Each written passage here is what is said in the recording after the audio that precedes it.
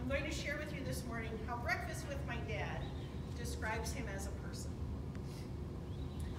For Christmas, I would wrap up 12 restaurants in Milwaukee as a coupon for him, promising a monthly date and to pay the bill.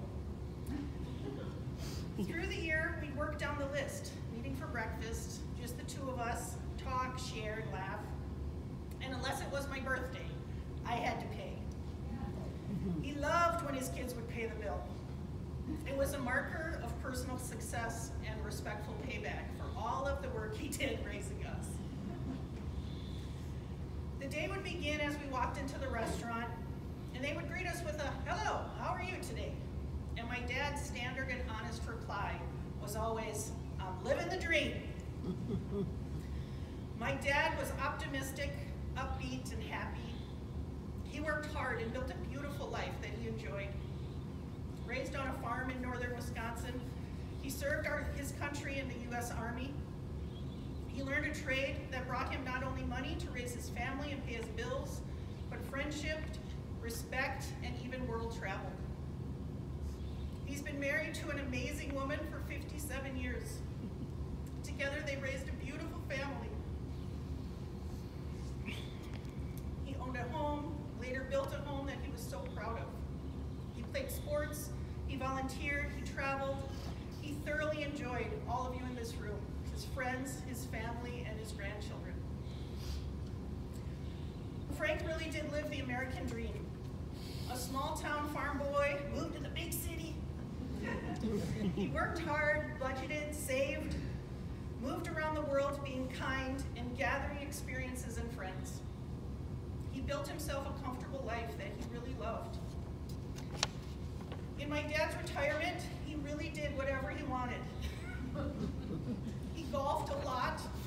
He hung out at a barber shop bullshitting with a bunch of other old retired guys. he bought coffee and read the paper at Panera Bread.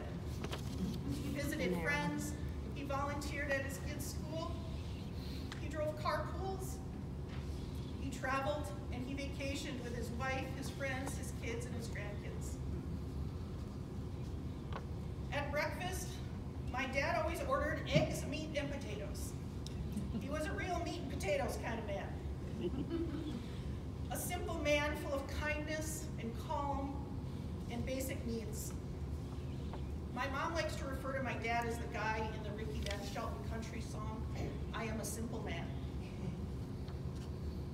It says, I want a job and a piece of land, three squares in my frying pan. Don't seem so hard for me to understand. I'm a simple man. He didn't need much to be happy. Friendship, food, the support of a good woman, and the Green Bay Packers to be winning. Simple things. You aren't going to get him to follow the reasoning about how we should all be vegetarians to save the planet. That's far too many words, and he loves meat far, far too much. However, if you need an honest day's work, genuine help, someone to show up and cheer you on, then he was your guy. Overall, he was a gentle soul. My dad was not a big talker. But when he did, you best listen, because there was no repeating that message. Was a great listener and gave solid advice, only ever stepping in when his heart told him to. Otherwise, he was a great, quiet observer. My dad's coffee was black with creamer. Like him, the very basics with a little fun added in. Frank Getch was easygoing and laid back, good-natured and silly. His humor was corny and repetitive. Gave the absolute best bear hugs. Loving, caring, generous, and fun was all naturally part of him. If you needed help, he'd help. If you needed a volunteer, he'd volunteer. He'd tow your car, he'd work the grill at a party, he'd fix your porch. I remember even being a very small child and sitting on Santa's lap and being amazed to notice that Santa had the exact same eyes as my dad. he would dress as a hula girl or a snowman, whatever you needed. At the annual Seaquist Christmas show, he'd be the hook man, dressed in silly costumes, come out on the stage with an actual hook mm-hmm. to pull off any manager that talked too long. he loved having fun and he loved teasing people. At some point during breakfast, I'd inevitably ask my dad, Hey dad, what time is it? He would never give you the actual answer. His standard and honest answer was, It's the time of my life. Aw. He really did enjoy his life. Farming is hard work, and he bonded well with his family and lifelong friends from Iron River. In the U.S. Army, he learned skills and saw the outside world for the first time while stationed in Germany. He came home and bought himself a brand new red convertible. Through his cousin George, met and married his wife. He enjoyed his work in the tool room at various companies, eventually landing and retiring from Aptar, later known as Seaquist Closures in Mukwonago, the town where we all lived. He loved talking to people about plastic caps, pointing out which ones they made and how many molds and cavities were in that mold. He was an excellent employee, skilled, dependable, and helpful. He worked there for over 20 years, 22, we did the math yesterday, 22 years, only ever calling in sick one time when he was actually in the hospital. So several perfect attendance records. He was good to Seaquist and they were good to him. Seaquist sent him to places later in his career like China and Brazil mentor and train new tool rooms. That was unbelievable to him. That this Wisconsin farm boy would be traveling around the world first class. Wow. He felt like a king. I really like to thank all of you here today that worked with my dad. You kept him happy, employed, and feeling appreciated. It really was the time of his life. My dad had the time of his life playing and watching sports too. Basketball, softball, golf, later soccer when his kids and grandkids started playing. He golfed just as often as he could.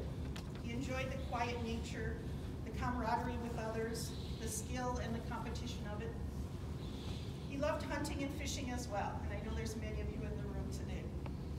He had a good crew from Iron River that kept him involved and active with that year. Same thing, quiet, nature, skill, while also being with friends. A great combination. Any of you golfers or sportsmen that are here today, please know that he loved it and he loved being with you. My dad is a role model in doing things that bring you joy in your retirement years.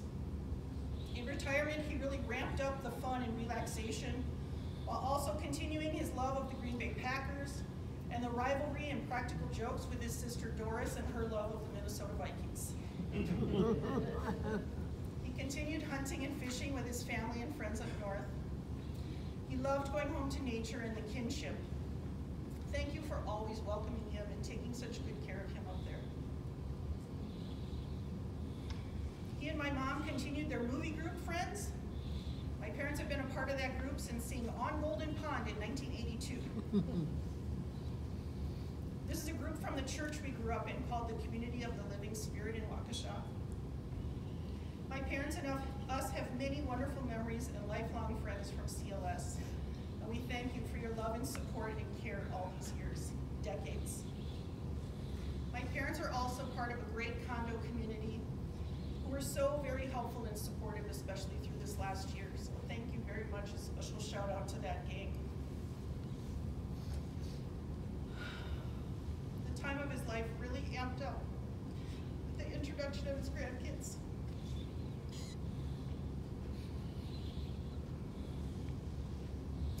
Luca and Grandpa truly loved watching all of you grow up. Being with you, catching crabs and swimming, playing in the park and card games and sleepovers. So many vacations. You brought so much joy to Booga and Grandpa. I'm so glad you had all these years with them. You're a lucky group of people to have these two people witness your life and teach you things. And I know that goes both ways, the love and joy, them to you and you to them. I'm so happy for you. My dad was a very active grandpa, known by many as Grandpa the Superfan, always the first one in the stands, he loved watching and also coaching his grandkids. Even when he didn't know a damn thing about pole vault, or the hurdles, or volleyball, that would not stop him from giving his unsolicited advice on how you could do better. Obviously, sports are fun when you're winning, but participating is what really mattered to my dad. Being a part of the team, part of your community, learning and building your own skills. He was dependable and predictable, and was always there cheering us on, having the time of his life. So that sums up my dad. He was a good man that loved his family, his community, nature, and sports. He was a real good man that, that moved through this life with a great work ethic, kindness, and joy. A real good egg. Mm-hmm. And that's what I'd like to leave you with here today. With a message that this life of ours is about who you are and how you show up in the world day after day. And how you show up in the world creates the impact you have on others. Like my dad, you might think you're simply a guy working in a tool shop trying to feed his growing family. Yet, it is in how that man showed up every day that brought you here today to celebrate him.